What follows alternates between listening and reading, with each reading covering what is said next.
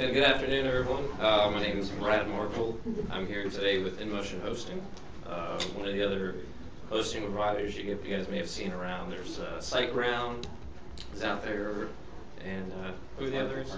Arvixe, other hosting company that's out here. So, uh, so far it's been interesting for me to kind of meet some of the competitors, some of those guys that I see on Google that I'm trying to beat on Google. And so it's, it's nice coming here and pass some smiles their way. But and uh, in today's presentation, I'm going to cover a couple things. We're going to take a quick look at SEO. I'm sure a lot of you guys know what SEO is and kind of understand why it's important, but we'll take a quick look at that. I'll show you guys general SEO using Joomla. Like I said, it's not terribly difficult. You just have to understand what exactly you're doing and why you're doing it. And then also give you guys some tips and suggestions. Um, from my point of view, I help manage the support center for our hosting company. We've got two, 3,000 articles in there. And so it's, it's a bit different for me because I've got a lot of content to kind of QA and make sure it's SEO kind of friendly. So I'll, I'll give you guys some tips on, on kind of some of the things that I, that I automate. And even if you don't have a thousand pages, even if 50, 20, you know, there's a lot of stuff that you can automate, and uh, I would highly suggest doing that. Okay, so again, quick introduction. I've been in the hosting industry since 2006. I started out at a small kind of Windows hosting company, and then I just hit my five-year mark at InMotion Hosting. I've done uh, tier one, so I've picked up the phones, responded to emails, I've done tier two, I've done systems, done training, and now I do the, uh, we refer to as the customer community, so we write a lot of the support articles. So I've got, I'm kind of, kind of always on the other end from you guys. I, mean, I design websites here and there, but I'm always interacting with people who've run Joomla sites, run WordPress sites. So I've got a lot of background in this stuff. Um, I've also seen Joomla grow over the years. Saw it in 2006, and then it's one of those things as the years go on, you get a lot of phone calls, and it just picks up. You start hearing that a lot of people are using Joomla. So um, I've, I've definitely watched Joomla over the years kind of grow to what it is today.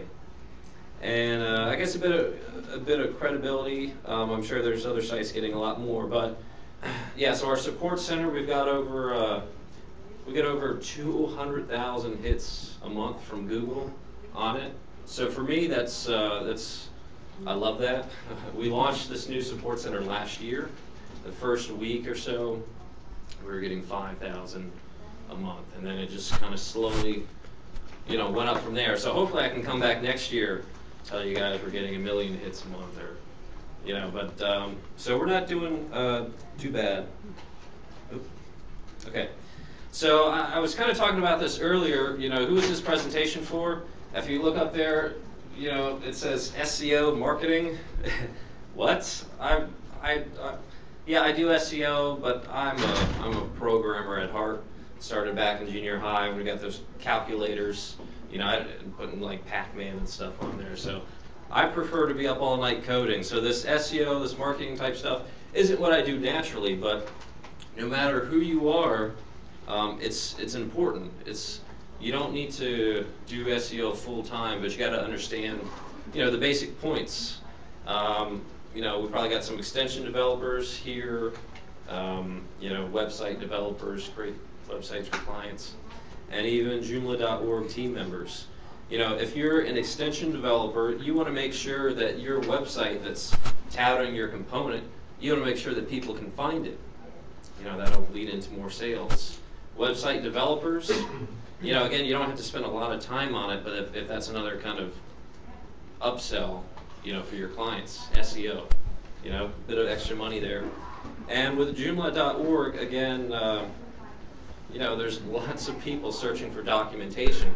So they got to make sure that they have it and everyone, everyone can easily find it. So the whole SEO is, is it's very important. So what is SEO? It's, it's search engine optimization. Um, you know, it's basically cleaning up your site so you can be found in Google. Now, I'm going to reference Google a lot, but Yahoo, Bing, the other search engines. And there, there's quite a few things you have to consider. Um, you have to consider how search engines work. You have to consider what people are actually searching for, what, what words they're typing in, and again, what search engines are, uh, are being used. So we'll, we'll tackle most of this today.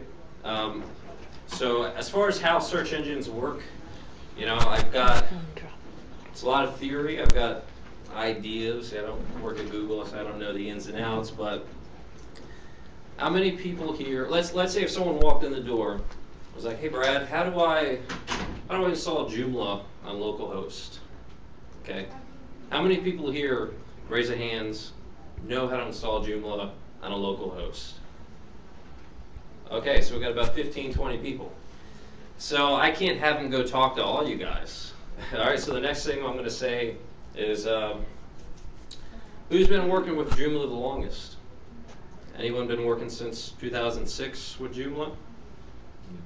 All right, so I got a couple more. So maybe one more question is, uh, I got all these people, they know how to install Joomla locally. They've been working with Joomla for quite a while. Uh, maybe I kind of take a look at how professional everyone looks. Um, you know, I'd say, hey, that guy looks credible. You know, go talk to him first. But if he if he can't help you, you know, maybe try the guy next to him. And that's that's kind of what you know search engines do. They got um, people send in their queries, and they've got tons of indexed content, and so they have to find you know the best results. That's that's what they what they do. Now it's it's very important to understand what people are searching for. For example, the question was who knows how to install Joomla on a local host, but uh, they may have asked how do I install Joomla on cPanel? How do I install Joomla on Ubuntu or Linux or you know all sorts of different phrases that they all kind of mean the same thing. But you have to know what they are searching for specifically and tailor um, your content to that. so again, the ultimate goal of SEO is to rank higher in the search engines. You know, get on that first page, first, second, third result. Um, you know, the more eyeballs to your page, the more people that click. That's what we want them to do is click. You know, if you're selling products, you could sell more products. Um, if you do advertising, you know, more people are going to your page seeing those advertising, so a bit more money there. And uh, not entirely, but in my case, I like to uh, I like people to see the InMotion Hosting brand, get that branding effect. I don't expect someone to search for something, read my article, and sign up right away. You know, this is not going to happen. Let's get serious. But, but in a year from now, uh, you know, if they use Joomla and they've seen the tutorials that I've written, and they know InMotion Hosting, people switch hosting companies all the time. So one of the goals is to really get InMotion Hosting out there, um, so that when you do decide to switch hosting companies, you know, it rings a bell. It's like, hey, I know that guy. I've read his stuff. And, uh, and you know, that probably applies for a lot of companies out there, whether you design websites for somebody or you, you know, develop components. Uh, branding is pretty important. So we're going to take a look at some basic stuff here. Like I said, the theory is, is really what's important. Has anyone seen that picture before?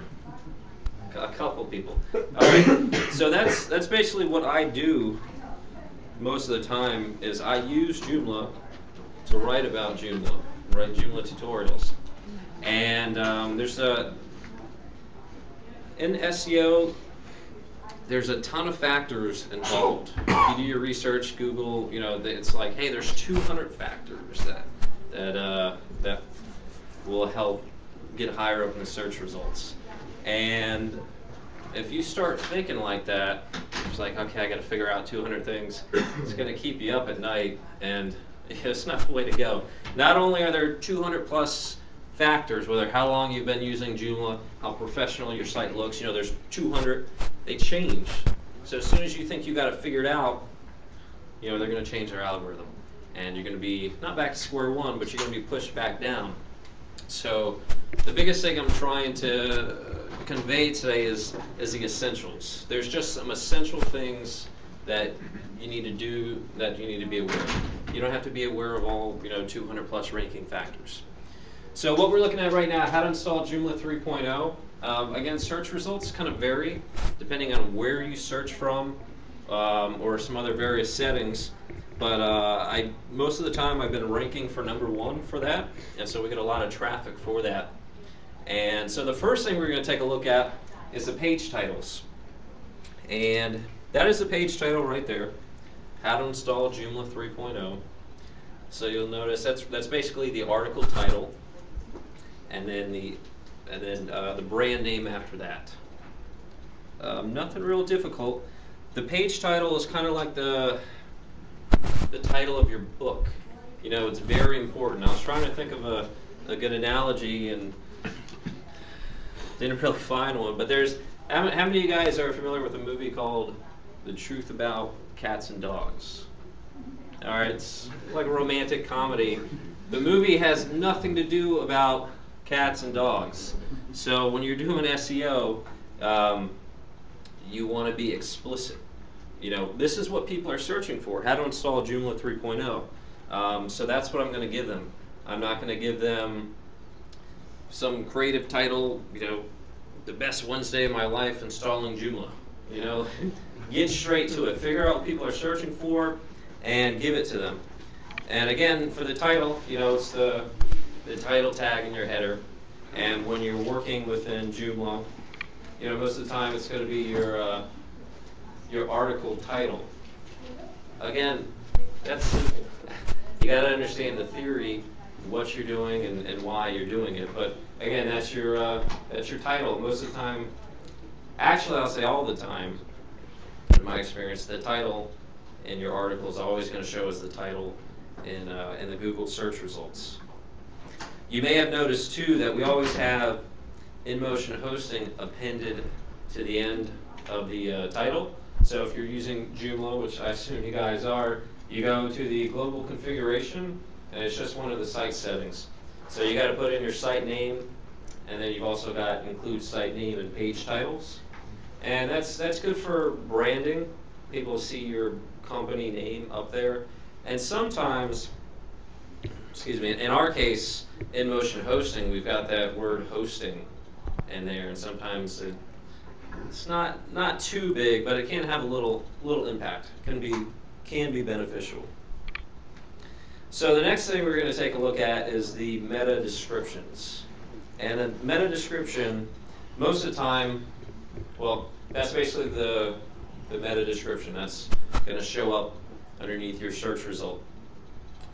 And whereas the page title is really important, the meta description is not really that important for SEO. It's important because it's kind of like your billboard. You, you have only so much room there, and when people are just kind of scanning through the, uh, the results, you know, this is your chance to say, hey, this is what my article's about. This is what you're going to learn, or you know, whatever message you want to you want to put in there. And again, you know, this is pretty straightforward. In this tutorial, we will walk you through the steps on how to install Joomla 3.0. You know exactly what the article is going to be about.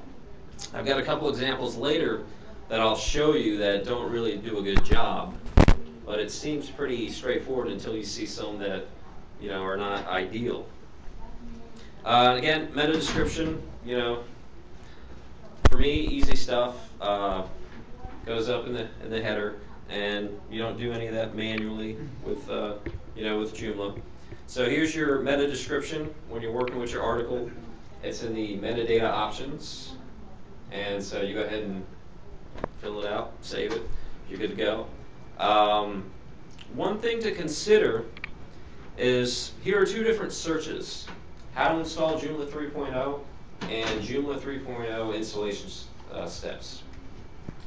Notice that same exact title, same exact, you know, yep, URL and picture, but this is different. The, the description down there is different.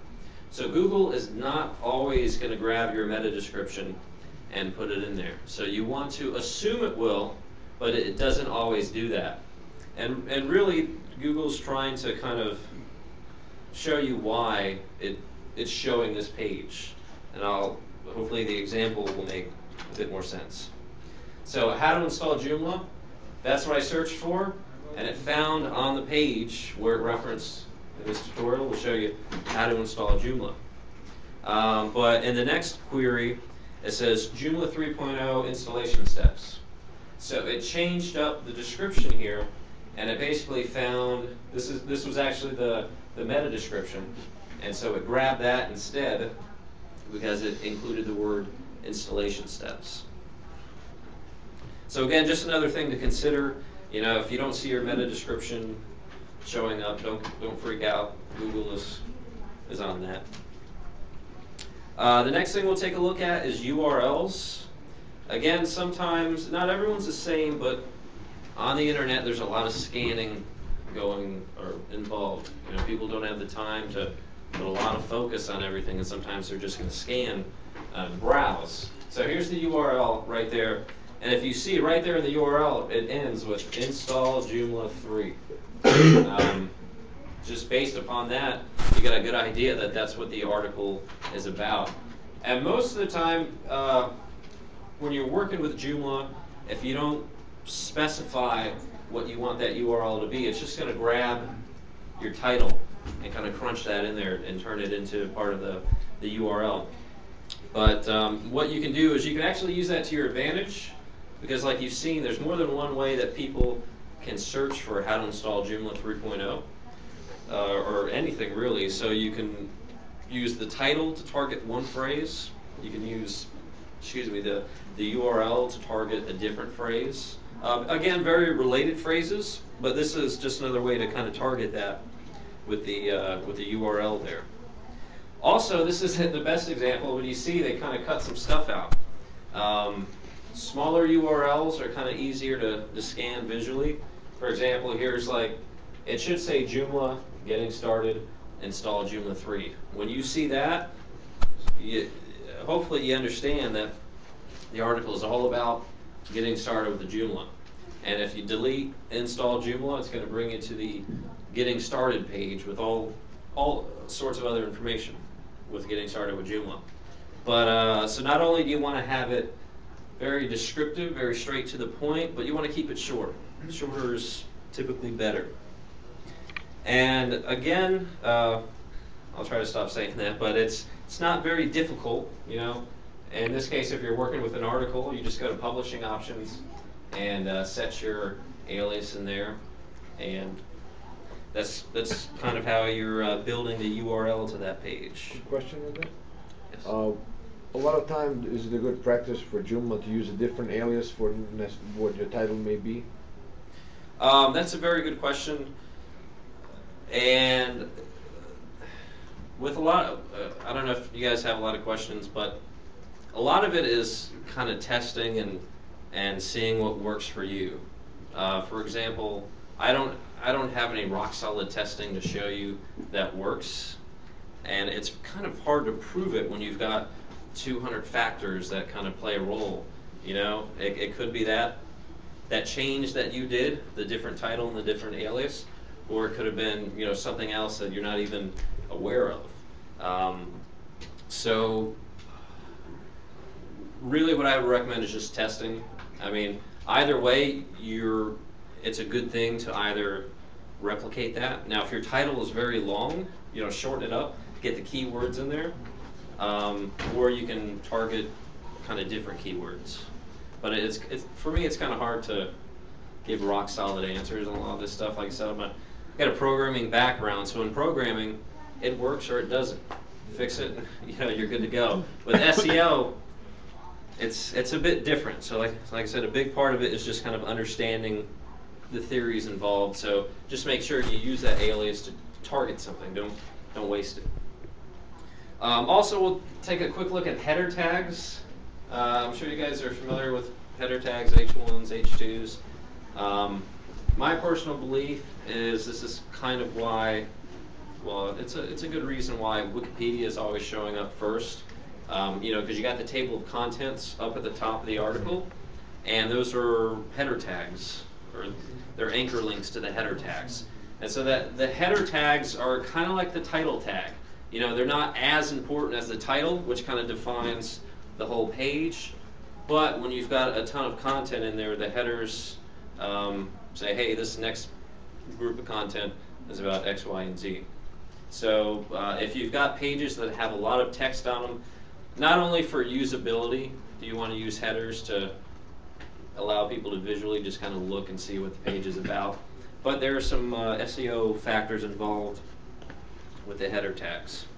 And if we if we take a quick look at this one, you know, the, the H1, this is what the whole thing is about. How to install Joomla 3.0. Um, you know, then the next subset is Joomla 3.0 requirements. And then when we get to the Joomla installation steps, we've got some H3s after that. Um, also, like I said, you have to know what people are searching for and target it uh, wherever you can. The article was how to install Joomla 3.0, but what if someone searches for Joomla 3.0 installation steps? You know, so wherever you can, try to squeeze in that, that good stuff there, because um, that's what Google does. It Google doesn't technically know this page is about installing Joomla 3.0. It just knows it's about that you know that text right there. Can I ask you a question?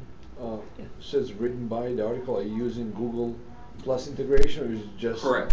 Okay. Yeah, we've got uh, the Google Plus integration, and uh, so that's why you guys see the my profile picture show up in the search results. All right, again, the heading. You know, highlight your text in the editor. Uh, choose your heading. Um, this is the default editor. I don't know how many of you actually use the JCE editor. I mean, it's, yeah, I use it. Yeah, so uh, again, this may not be the exact thing in JCE, but uh, I, am sure you guys can figure that one out. The next one we're going to take a look at is anchor text. Um, you know, anchor text is, so that's a link, obviously, and um, anchor text is the actual text that people click on, you know, to go to that page. And anchor text is important because it helps Google understand the page that links to what it's about. For example, not the best example, but that, that page, that link goes to another page about install Joomla 3.0. And so the more that Google sees these backlinks with very similar text, you know, it, it kind of understands that a lot of people are linking to this page, and it's about installing Joomla 3, or it's about uh, Joomla installation steps. So um, when you're using the anchor text, you want to make sure that you're targeting your keywords. There's a whole different conversation, but you want to make sure you don't repeat the same keywords over and over. You could get penalized. Um, but again, uh, that's a whole other conversation.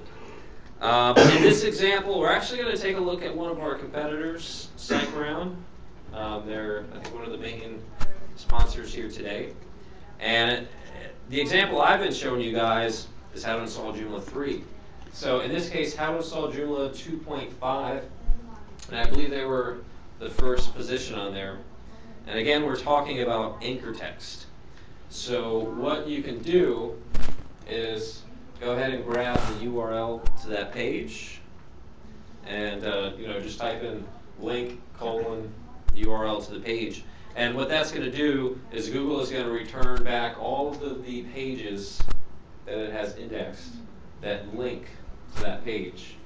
So again, we're talking about anchor text. So we could take a look at, and you could do this too, take a look at what your competitors are doing. Um, in this case, so we've got the two pages that SiteGround, okay, so we've got two SiteGround pages that link back to their own page. And so there's nothing wrong with that. You want to make sure that um, even if it's your own content, you have some of it linking. Um, but what I'm trying to get at, here's, here's what I'm trying to get at. And when I was doing kind of research, you know, I saw this and I was like, great job. You know, like I wish I did it first, but um, you know, th this is their anchor text.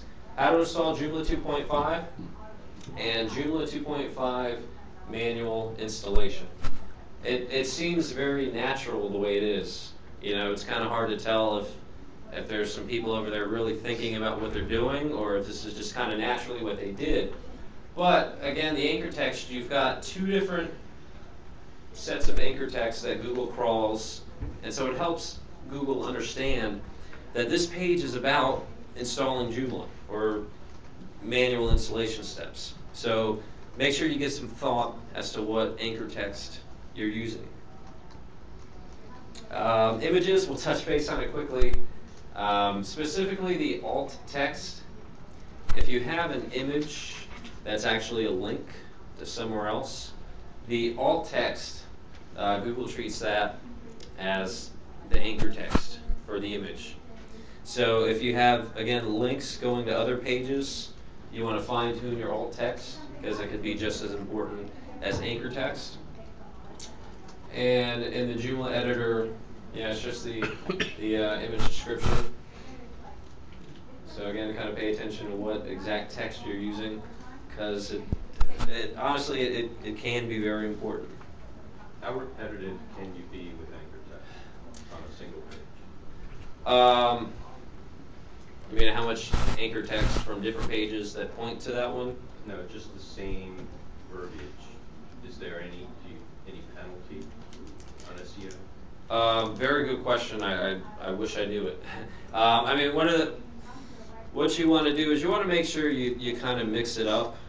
Um, for example, there was a, a, a recent kind of update to Google, and if they saw, if Google saw a ton of sites all linking to you with the same anchor text, for example, maybe like in a footer, like if you've got a template, if there's any template developers out here and you got a link in your footer, you got 100 people using that template and they all have the same anchor text, um, you can get penalized for that.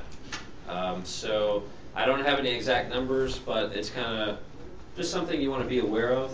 Um, so personally, I try to vary it up as much as possible.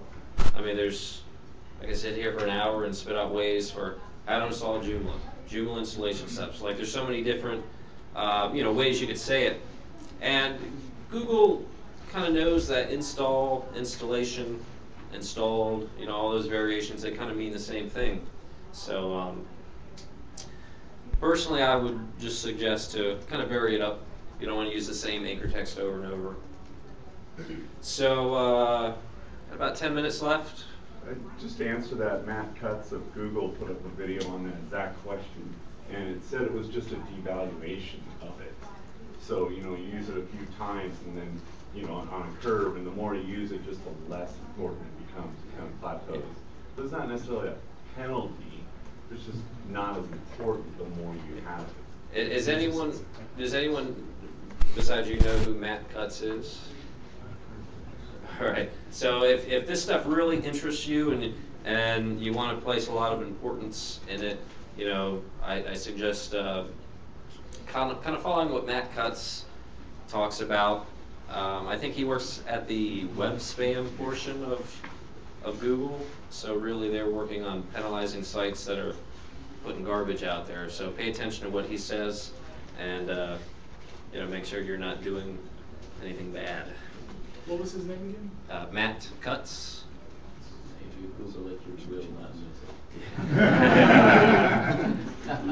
All right, if so it feels bad, it's bad. yeah, yep. If it feels bad, you've gone too far. And if you feel like you're going to devaluate, like he says, then create another one because you can create one that adds lots of value instead of creating one that adds. Yeah, and there, there, when you start looking at analytics, like if you take a look at Google Analytics, you'll see that not everyone types in the same words to get to your, your articles or they find them on Google. So there's a lot you can do. Um, so again, I got about 10 minutes, so try to wrap everything up here. Um, this is not really a formula per se, but if you're trying to get a lot of traffic, you need to be under, you need to be aware of this. You need to be aware of volume and competition. And so we'll take a look at volume first. How many people are searching for this topic? For example, let's say, you know, I work in web hosting, so how to install WordPress, for example, right? Lots and lots and lots of people are typing that phrase, how to install WordPress. So if you're trying to get traffic, you want to go, you know, that's one way of doing it is targeting what people are searching for. You got to know that. Uh, but then you got to take a look at the competition. Tons of people have articles online how to install WordPress. So don't really think you're going to write an article and have it show up on the first page because there's a lot of competition out there. So um, kind of keep that in mind. If you're not getting traffic that you're expecting, you know, kind of take a look at are there a lot of other people doing the same thing, which is kind of like a you want to find a niche, or did you find something that just no one is searching for, and you could you can answer these questions. So finding what to write about. Um, hopefully some of you are, are, aware of it, and it's not like a big secret here, but you know the Google Auto Suggests. Let's say you're a Joomla developer. You know Joomla really well. You know the Joomla API. You know Joomla Facebook. So you've got the Auto Suggest, and it's basically Google trying to tell you, you know, I think this is what you're going to say, because they know that a lot of people are typing Joomla Facebook like feed like button. So you could use the auto suggest to kind of figure out, you know, what people are searching for. And this is something I do. Um, I prefer it as just the A through Z list, but Joomla Facebook A, B, C, D. Um, automate this. If well, it, it can be automated. So if you find this to work for you, look into automating it. But so that's the first thing is you know you got this uh, this thing that you know a lot about. Okay, figure out what people are searching for. Um, if you're not familiar with it, Google has the keyword the Google uh, keyword tool. It's really more for uh, like AdWords, but you don't have to use it for AdWords. So you plug in all of the search phrases, and it tells you the phrase. And if you look at the middle column, global monthly searches. So obviously you don't have these three search phrases up here all getting 4,400 hits or searches a month. What are the odds of that? But it gives you a ballpark figure. Um, for example, Joomla Facebook activity feed, roughly 73 people a month are searching for that, whereas 4,400 are searching for Joomla Facebook button.